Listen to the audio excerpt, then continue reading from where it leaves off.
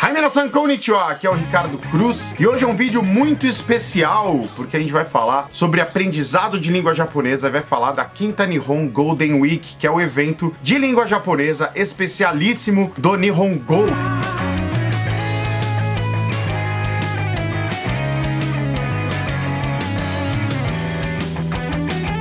Ele começa agora, dia 29, segunda-feira, 29 de outubro de 2018. Se você estiver vendo esse vídeo no futuro, já passou, mas terão outras, né? E é um evento que dá muito prazer organizar, muito prazer fazer. Temos um contato mais próximo com as pessoas que se interessam por cultura pop japonesa, se interessam por língua japonesa e querem finalmente realizar esse sonho de aprender japonês. A partir de segunda, você vai descobrir várias técnicas é, que a gente transformou em técnicas, né? Porque isso tudo parte de uma vivência, coisas que eu eu, eu, vivi no Japão, é, traduzindo mangás, cantando com a banda Jump Project, fazendo, enfim, todos os trabalhos que eu faço aí ao longo, sei lá, de mais de quase 20 anos de lida com a língua japonesa. E hoje a gente vai fazer um pré-evento pra gente ir com a cabeça certa pra Nihon Golden Week, ok? E lembrando que para você participar do evento, para você ser notificado no seu e-mail sobre o evento, os primeiros vídeos que vão, vão ser lançados, você precisa estar cadastrado na nossa comunidade. Se você ainda não está, é, coloca o seu e-mail em www.cursonihongo.com.br. É bem rapidinho, você coloca o seu e-mail lá, você já vai confirmar o seu cadastro e a partir de segunda-feira você recebe o e-mail de todos os vídeos. E depois que acaba o evento, você continua recebendo nossos e-mails, nossos vídeos, nossos conteúdos todos de língua japonesa. Ok? Simbora. E se você já é cadastrado, você já está dentro, você vai receber o seu e-mail sem maiores problemas. Ajuda a gente a, a levar esse evento para o maior número de pessoas possível. Gente que você conhece, que sempre sonhou em aprender japonês, gente que gosta muito de anime, mangá, tokusatsu, talvez curta aprender japonês também. Espalhe a palavra porque vale muito a pena. É um evento que a gente realiza pouquíssimas vezes por ano. Então chama toda a galera, porque começa dia 29, ok? Bom, é, eu acho que motivação é um, uma ideia central para tudo aquilo que a gente quer fazer na vida. Tô aqui bem, bem filosófico, mas é importante, né? Estar motivado faz com que a gente aprenda melhor, trabalhe melhor, faça tudo melhor. Então, um, uma das funções desse projeto Nihongo, desde o início, quando a gente criou o projeto, eu criei esse projeto junto com o Rafael, que é meu parceirão aí na, de jornada dentro do Nihongo, a gente quis,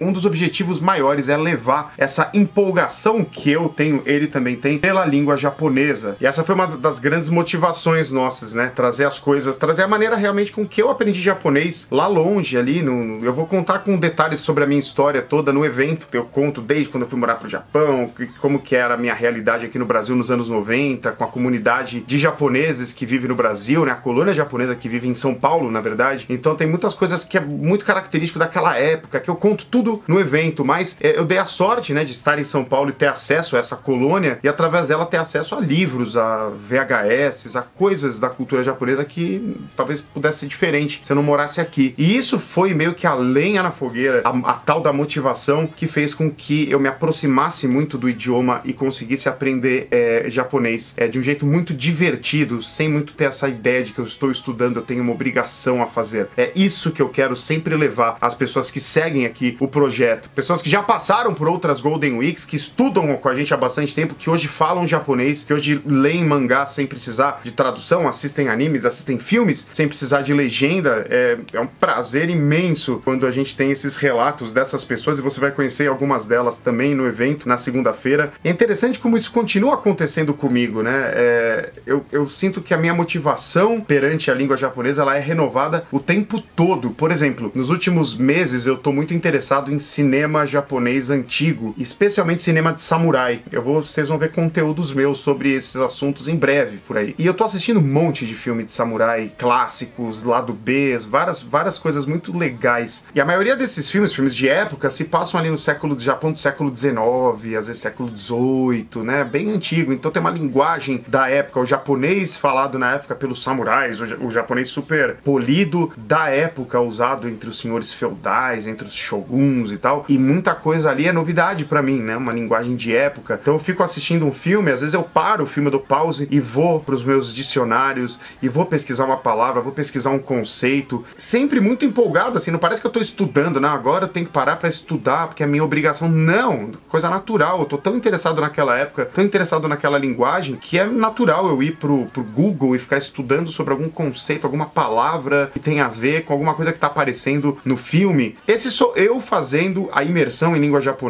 e me, tendo a minha motivação pelo idioma japonês renovada pela cultura pop. Eu com 36 anos de idade, hoje, é, da mesma maneira que eu com 14 anos tinha a mesma, é, fazia as mesmas coisas motivado de repente por um mangá ou por um livro de tokusatsu que eu descobri naquele ano aqui em São Paulo, nos anos 90. É a mesma motivação e ela traz um impacto emocional, porque eu tô descobrindo ali um mundo novo, os filmes de samurai, o Japão daquela época e, e a linguagem daquela época. Isso gera um interesse, um impacto emocional que faz com que as coisas que eu pesquise, as coisas que eu aprenda, os ideogramas novos que eu aprenda, é, eu não esqueça com tanta facilidade, porque tem uma conexão, existe um impacto aí. É isso que a gente não pode perder e é isso que a cultura pop traz pra gente do melhor jeito possível. Não há material didático melhor para se aprender um idioma do que a cultura pop. E eu arrisco dizer que isso não é só japonesão, qualquer outro idioma. Quantas pessoas que você já ouviu falar que aprenderam inglês vendo séries de TV, uma série no Netflix, por exemplo, ou jogando um jogo de videogame, sabe? Que ela vai acompanhando a história. Muitas, eu tenho muito amigo que aprendeu inglês dessa maneira.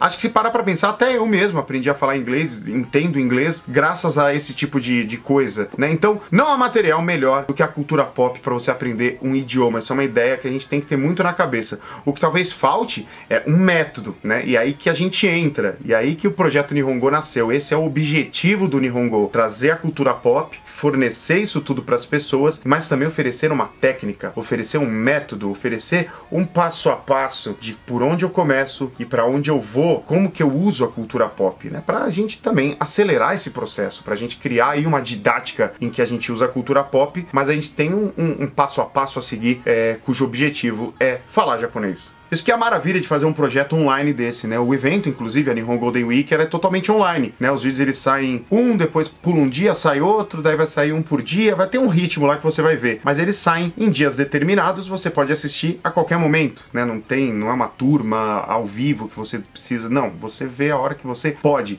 A internet ela leva o conhecimento até as pessoas, né? A gente recebe muito, muitos comentários, até de pessoas falando, poxa, eu queria tanto estudar japonês, mas a minha família, por exemplo, não entende a minha, a minha paixão por isso, a minha eu, eu gostar dessas coisas e não, não, me colocam num curso e tal. É, eu entendo bastante isso e eu acho que justamente o que eu falei antes, a internet ela democratiza isso. Você pode fazer as coisas online com a mesma qualidade do que se você fizesse num curso presencial. Né? Eu mesmo fiz cursos presenciais de japonês, vários deles ao longo da vida, né?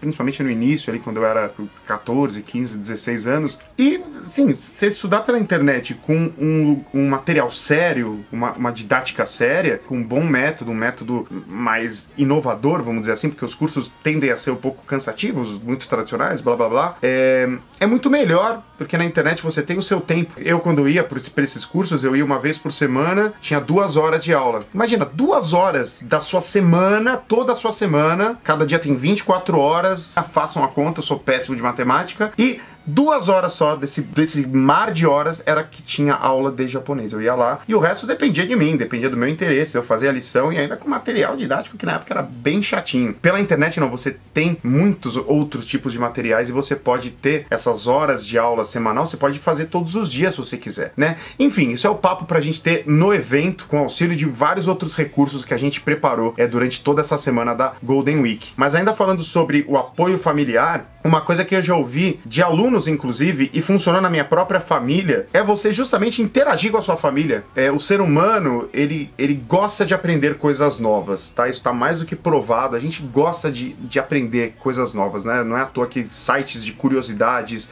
rapidinhas, né, que você vê, olha que curioso, em tal país acontece tal coisa. A gente para para ver essas coisas, porque a gente tem uma tendência de querer conhecimento, né, de querer aprender coisas novas. Quando eu era pequeno e eu descobri todo esse mundo, esse Japão, toda essa cultura japonesa, eu levava isso pros meus pais, né? Meu pai ali na sala, no domingo, ali assistindo alguma coisa na televisão, eu chegava com algum livro, alguma coisa que eu tinha aprendido e falava para ele: olha que legal isso aqui, pai, esse, esses ideogramas, eles significam um monstro. Esse aqui é um monstro, ele é uma fera, esse é uma fera selvagem, e esse outro kanji aqui significa alguma coisa misteriosa. Eu tava, explicava o que eu tinha acabado de aprender, eu chegava pro meu pai e explicava. E ele prestava atenção, ele falava, olha que legal, né? Então não tinha muito interesse tão profundo quanto eu, óbvio, mas ele parava e eu acho que isso conquistava a simpatia da minha família com relação ao assunto pelo qual eu estou interessado. Então acho que quebrar essa barreira é uma coisa que eu sugiro também para todo mundo, assim, sabe? De repente está numa casa aí com seus pais que, ah, eles nunca vão entender isso, tal. Não, de repente leva alguma coisa para eles que você aprendeu, um ideograma,